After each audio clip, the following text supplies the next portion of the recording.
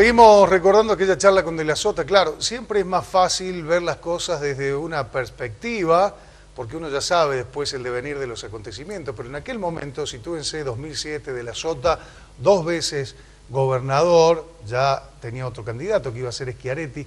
Nadie imaginaba a un De la Sota fuera de la escena política. Y se lo preguntamos concretamente, ¿qué va a hacer, doctor, usted el año que viene, el año 2008? ¿Se toma un año sabático?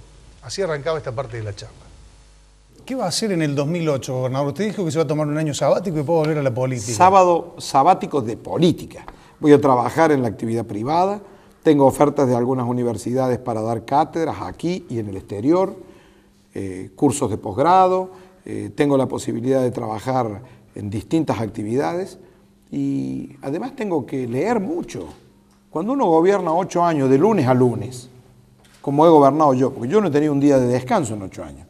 Un día. A mí nadie me dijo que me elegían gobernador de lunes a viernes. Entonces trabajo de lunes a lunes.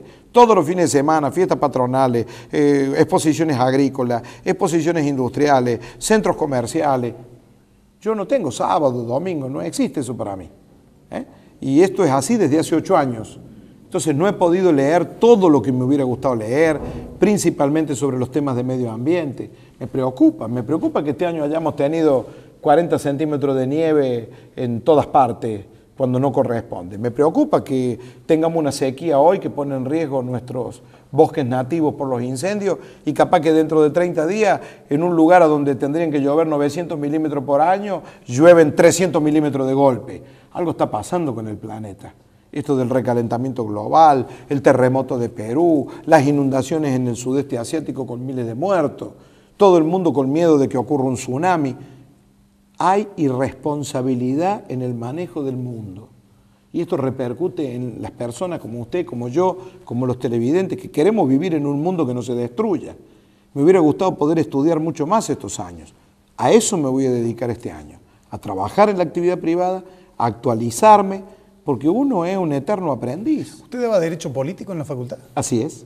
¿Y eso es lo que va a volver a enseñar? O? Probablemente no, son casi todos cursos, se llaman cursos de temporadas en distintas universidades, donde se hacen cursos sobre políticas públicas. ¿eh? También tengo una invitación de organismos internacionales para explicar todo lo que fueron nuestros barrios, ciudades, cómo hicimos para crear las plazas productivas, para educar por competencia y sacar de la calle a los chicos que no tenían ningún empleo ese tipo de, materias son las que me han invitado a explicar. ¿Qué le faltó al gobernador José Manuel de la Sota o si tuviera que hacer una autocrítica, en qué se equivocó? muchas cosas me faltaron. Me hubiera gustado tener lista la autopista Río Cuarto, me hubiera gustado tener una autopista de cuatro manos a San Francisco por todo lo que es el corredor productivo eh, del Mercosur.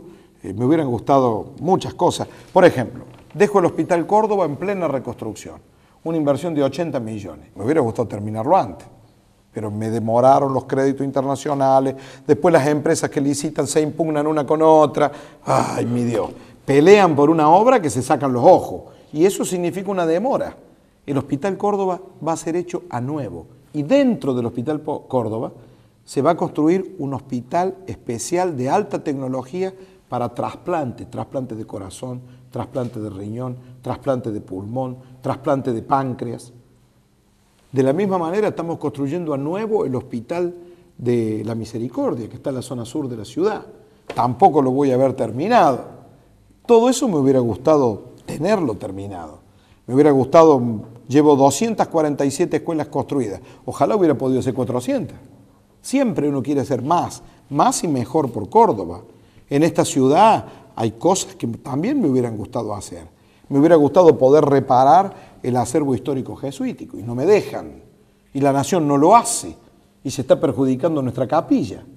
Y yo hubiera querido meter mano. Pero ¿Por qué no lo dejan? Y porque es monumento histórico nacional y sin una autorización especial de la Dirección Nacional de Museo no se puede meter mano. Pero varias veces intentamos, de alguna manera, nos ofrecimos para repararlo. Que no, que ya la nación, que ya iba a haber presupuesto. En otras cosas hemos intervenido directamente. La Compañía de Jesús en Córdoba, por ejemplo, en la capilla doméstica había un problema de eléctrico que ponía en riesgo e intervinimos. Un poco de prepo, ¿no? Pero hay que cuidar la historia, hay que cuidar lo que nos pertenece. Y bueno, eh, muchas cosas hice. Yo pido disculpas por aquellas cosas que no me salieron bien. Seguramente deben ser muchas, porque solamente no se equivoca el que no hace nada. Y yo he tratado de hacer muchas cosas por Córdoba y por los cordobeses. Así que aquellas cosas que no le hayan gustado a los vecinos de Altagracia, mis disculpas. Yo las quise hacer por el bien de la comunidad. Nos gustaría hacerle muchas más preguntas, pero sabemos que su agenda es apretadísima, no solo hoy, sino también mañana. Lo vamos a volver a invitar, ya no como gobernador, pero mm, para seguir discutiendo los temas de Córdoba y los temas del país. Eh, ¿Se va a vivir a Río Cuarto, doctor? Sí. Y lo que puedo decirle es que mm, Córdoba hoy tiene las bases sentadas para crear más puestos de trabajo y para seguir creciendo económicamente. Por nada no vienen todas las empresas que vienen a Córdoba. Y quiero pedirle a los cordobeses que por favor piensen muy bien. Yo rebajé los impuestos el primer día de mi gobierno. Cumplí. Me votaron para que los bajara y los bajé. Y no los he vuelto a subir nunca más en ocho años. Y mire que ha pasado cosas en la Argentina en ocho años. Cuando yo veo que los candidatos de la oposición que usted mencionaba recién que me quieran reemplazar dicen de que ellos van a aumentar los impuestos que yo rebajé, realmente me parece una locura. Un impuestazo perjudicaría gravemente a la provincia de Córdoba. Van a desalentar inversiones, vamos a perder miles de puestos de trabajo. Y un impuestazo como el que ellos proponen va a perjudicar a las familias. Porque hoy la situación familiar todavía está ahí, ahí. No hay plata que alcance. No hay gente que diga me sobra para que me aumenten los impuestos. Esto va a disminuir el consumo, si las familias tienen que pagar más impuestos o van a dejar de pagarlo, en cuyo caso la medida que tiende a recaudar más impuestos según ellos, se les va a volver en contra y van a recaudar menos. Córdoba hoy no tiene evasores, todo el mundo paga impuestos. Son tan baratos que no vale la pena no pagarlos. Yo por eso creo que el único que va a garantizar que no aumenten los impuestos es Schiaretti. Y creo que los cordobeses tenemos que pensar en estos temas. No hay que dejar que a uno le metan la mano en el bolsillo aumentando impuestos porque sí, sean impuestos provinciales o municipales. La última pregunta, doctor. ¿Dependemos de la nación y dependemos del buen humor del presidente que nos envíen fondos o no? Para podemos subsistir independientemente? Para nada. Córdoba es autosuficiente, tiene recursos, tiene superávit fiscal hace cinco años. Entramos en el sexto año de superávit fiscal. Y ya va a ver usted los recursos que yo le voy a dejar a Schiaretti cuando me vaya. No va a pasar eh, los apremios que tuve yo cuando asumí, que realmente hubo que salir hasta pedir préstamos para pagar los primeros salarios.